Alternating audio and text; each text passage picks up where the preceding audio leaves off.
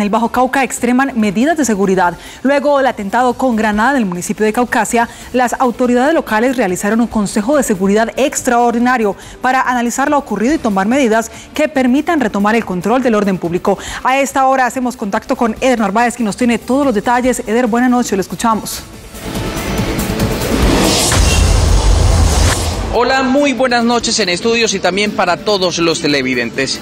Sigue compleja la situación de orden público en el municipio de Caucasia. En las últimas horas, las autoridades locales realizaron un consejo de seguridad con el fin de analizar eh, el atentado ocurrido en la noche de ayer y tomar algunas medidas. Incluso se ofrecerá recompensa por información que permita ubicar a los responsables de este hecho violento. Varias medidas fueron tomadas en el Consejo de Seguridad realizado con las autoridades locales. Entre ellas están aumentar el pie de fuerza con uniformados de la policía y el ejército para fortalecer los patrullajes en el municipio. Vamos a tener más de 150 hombres en el área urbana del municipio, las fuerzas militares, del ejército. Las autoridades también anunciaron que entregarán recompensas a las personas que suministren información que permita la ubicación y captura de los responsables del atentado con explosivo. Que nuestro compromiso es precisamente articular toda la capacidad y poder finalmente eh, lograr minimizar esta situación. Por otro lado, los heridos del atentado continúan estables. La mayoría de ellos están a la espera de que sean dados de alta. Son las 7 y 5 minutos de la noche y continuamos desde el municipio de Caucasia. De acuerdo a las autoridades, la confrontación entre los caparros y el clan del Golfo sería la causa del atentado en la noche de ayer que dejó 12 personas heridas, las cuales fueron trasladadas tanto al hospital César Uribe Piedraíta como a la clínica Pajonal. 12 personas heridas, dos de ellas de gravedad fue el saldo que dejó la detonación de una granada en un local comercial en el municipio de Caucasia, Antioquia. Todo ello por el control territorial, por las rentas ilícitas de la minería ilegal, del narcotráfico, de la extorsión, del narcomenudeo.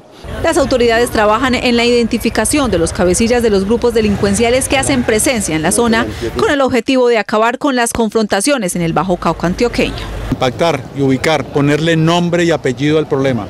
O sea, buscar a esta gente, buscar que la misma comunidad sea la que los, nos indique dónde están para poder capturarlos.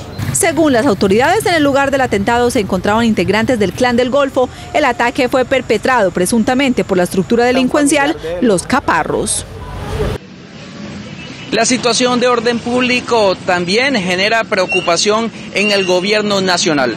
Por esa razón, el ministro de Defensa anunció que enviará al municipio de Caucasia un alto mando militar para que lidere las sanciones para contrarrestar la operación de los grupos armados ilegales en esta región del departamento de Antioquia. También ofreció recompensa para ubicar a los responsables de este hecho violento.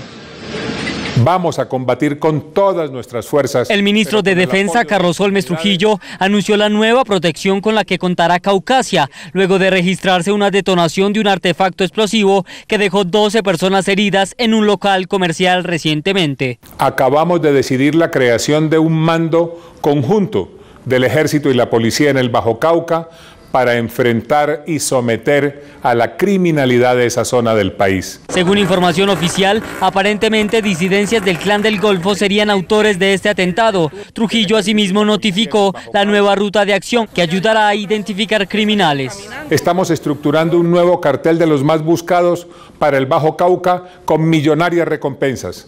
Vamos a combatir con todas nuestras fuerzas. Se espera que con la intervención militar y un trabajo conjunto entre la comunidad y el gobierno se disminuyan los hechos delictivos en la región. Siete y ocho minutos de la noche.